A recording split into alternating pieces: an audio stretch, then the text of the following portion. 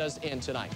Nobody but nobody would have thought that Camp and Pikeville would have been knocking on the state semifinal Class A door. Heading into October, Pikeville was just 1 and 4, but it played an unbelievably tough schedule. In fact, their first five opponents all made the playoffs. Camp was a little better at 3 and 4, but but also had not yet played their best football. Tonight, the Wildcats hosted the school's first region championship game ever.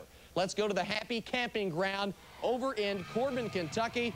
The brown grass, well, it's a sign of postseason play. First quarter, Sword, Derek Sword to Brett Gibson for the score. Six to nothing Panthers. And then Camp. They tried it last week against Hazard, didn't work. The halfback pass. It's Jesse Chafin to Andrew Jackson, and the president takes it to the house.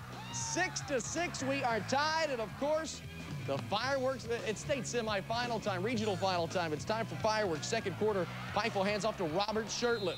Big 4-0 goes into the end zone easily, and the Pikeville cheerleaders made the long ride. So did their fans. They would lead 14-6 after the two-point conversion. Camp hands off to Jesse Chin, swings it into the end zone for the touchdown. Number 14, Scampers into the end zone. 21-14 at the break, third quarter. It's Chapin again. He would score, and it's 21 apiece at that point. This game would go to overtime, folks. Camp would tie it with a minute and a half to go as we go to the scoreboard.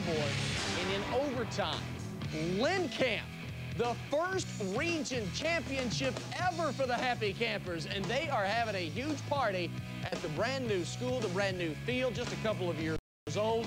Congratulations to Camp. Pikeville loses the Class A region championship for the first time since 98. Great season on their part. Great season for Lynn Camp. They are moving on to play Beechwood in the state semifinals. Who would have thunk